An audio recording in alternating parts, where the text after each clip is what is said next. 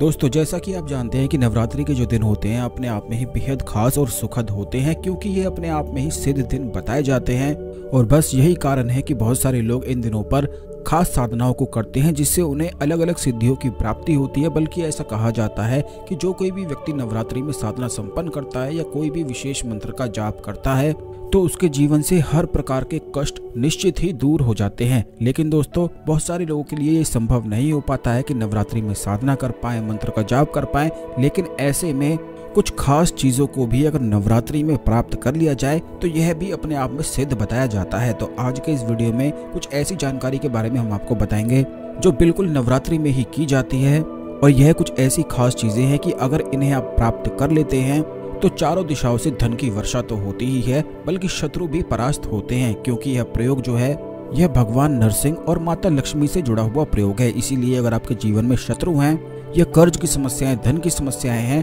तो इस खास प्रयोग को करके अपने जीवन में आप लाभ उठा सकते हैं। तो सबसे पहले दोस्तों, वीडियो को लाइक करके कमेंट बॉक्स में ओम नमः शिवाय, हर हर महादेव अवश्य लिख दें, जिससे भगवान शिव की कृपा आप पर हमेशा ही बनी रहे। तो दोस्तों, अब आपको बता दें कि जिस प्रकार पीपल वृक्ष में भगवान विष्णु का वास होता है, उसी प्रकार गूलर के वृक्ष में भगवान नरसिंह का वास होता है, जो कि भगवान विष्णु के उग्र स्वरूप हैं और यही कारण है कि भगवान नरसिंह से जुड़ी हुई जो साधनाएँ होती हैं या कोई खास प्रयोग होते हैं, वे बड़े ही ज़्यादा तीव्र होते हैं, जो कभी भी खाली नहीं जाते हैं। केवल तंत्र में ही भगवान नरसिंह की साधनाएँ की जाती हैं और उनसे जुड़े हुए प्रयोग भी बताए जाते हैं। तो दोस्तों, आपको बता दें कि नवरात्रि के जो दिन होते हैं, उनमें भगवान विष्णु, यानी कि भगवान नरसिंह, माता लक्ष्मी के साथ गूलर वृक्ष पर विराजमान होते हैं। वैसे तो जैसे पूर्णिमा होती है, उन दिनों पर भी होते हैं, लेकिन नवरात्रि की तो अपनी एक अलग ही महिमा होती है। तो अगर आपके जीवन में कोई ऐसी इच्छा है जो काफ़ी लंबे समय से पूर्ण हो ही नहीं पा रही है तो आपको केवल इतना करना है कि एक पीला रुमाल ले लेना है। पीले रुमाल के साथ आपको एक हल्दी की गांठ और एक कमल गट्टे का बीज लेना है। उसके साथ आपको एक पाँच रुपए का, दस रुपए का, एक रुपए का कोई भी सिक्का आप ले सकते हैं। अपने ऊपर से इक्यावन बार इसे उतारना है। और अपनी कोई भी इच्छा बोलते हुए ये सभी चीज़ें पीले रुमाल में रखकर गूलर वृक्ष पर बांधकर आपको आ जानी है। और ये कहकर आना है कि हे भगवान नरसिंह, अगर मेरी इच्छा पूर्ण हो जाती है तो ये जो मैंने सिक्का इसमें साथ रखा है, इसमें सौ रुपए और मिलाकर मैं मिठाई आपके नाम से बांटूँगा। बस इतना सा ही कार्य नवरात्रि में आपको करना है, चाहे कोई भी इच्छा हो। किसी भी चीज़ को आप अपनी ओर आकर्षित करना चाहते हो तो बड़ा ही ज़्यादा खास नवरात्रि पर किया जाने वाला प्रयोग है। ठीक इसी प्रकार अगर गूलर वृक्ष के जो फल होते हैं, इन्हें नवरात्रि में प्राप्त करने के बाद, माता लक्ष्मी को चढ़ाने के बाद एक घी का दीपक आपको जला देना है। ये प्रयोग उन लोगों के लिए है जिनके जीवन में धन की समस्याएँ होती है, नौकरी उनको प्राप्त नहीं हो पाती है या फिर जितना भी वे कार्य करते हैं, कोई भी कार्य का उनको लाभ नहीं मिल पाता है तो उनको केवल इतना करना है कि गूलर वृक्ष से फल लेकर आ जाने हैं।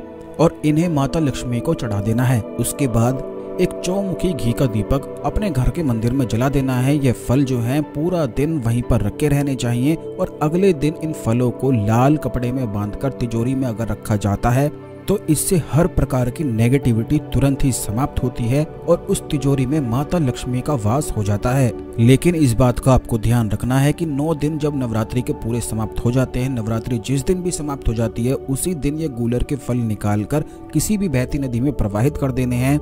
या फिर जहाँ से आप तोड़कर लाए हैं, वहीं पर उस पेड़ की जड़ में इन्हें रखा जा सकता है और वहाँ से जिस गुलर वृक्ष के पास से आप फल लाए थे, वहीं से आपको फिर इन फल को रखने के बाद उसकी एक जड़ भी निकाल लेनी है। और उसके बाद स्थायी रूप से अपनी तिजोरी में गूलर वृक्ष की जड़ को स्थापित कर देना है। ऐसा करने से अष्ट लक्ष्मी का वास तिजोरी में बन जाता है और उस घर में, उस घर का जो मुखिया होता है, वह जितने भी कार्य करता है, उसके सभी कार्य संपन्न होने लग जाते हैं। चारों दिशाओं से उसे सुख की, समृद्धि की प्राप्ति होती है और जो भी कार्य उसके जीवन में आते जाते हैं, उनसे बस वह धन कमाता ही चला जाता है। यह इतना ज़्यादा खास प्रयोग है कि अगर नवरात्रि पर जो कोई भी व्यक्ति इस प्रयोग को कर लेता है तो उसके जीवन में कभी भी धन की समस्या नहीं आती हैं, बल्कि उसके जीवन में ऐसे योग बन जाते हैं कि वह स्थायी रूप से माता लक्ष्मी की प्राप्ति कर लेता है।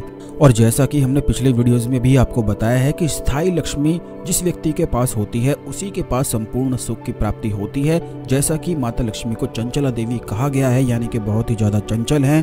और कई प्रकार की लक्ष्मी होती है। जैसे कई लोगों के पास धन होता है, लेकिन उनके पास संतान सुख नहीं होता है। कई लोगों के पास संतान होती है तो उनके पास धन सुख नहीं होता है।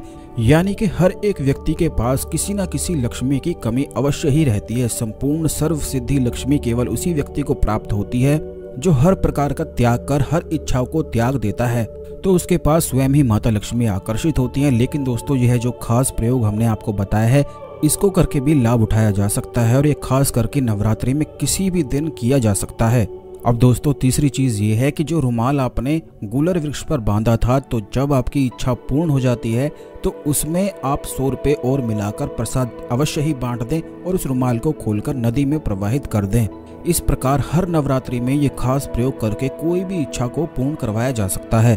बिल्कुल इसी प्रकार दोस्तों, एक चीज़ और आप जान लें कि माता लक्ष्मी के सामने संपूर्ण नवरात्रि पूरा दिन रात पूरे 24 घंटे अगर कोई भी व्यक्ति घी का दीपक, गुलाब इत्र उसमें डालकर पूरे दिन जलाता है, पूरी नवरात्रि जलाता है तो ऐसे व्यक्ति को भी अखंड सौभाग्य की प्राप्ति होती है। चाहे उसके जीवन में कितना भी बड़ा दुर्भाग्य ही क्यों ना चल रहा हो, उसका हर एक प्रकार का दुर्भाग्य समाप्त हो जाता है और उसे सुख की समृद्धि की प्राप्ति होती है। ये इतनी खास चीज़ें हमने आपको बताई हैं, जो खास करके नवरात्रि पर ही की जाती हैं।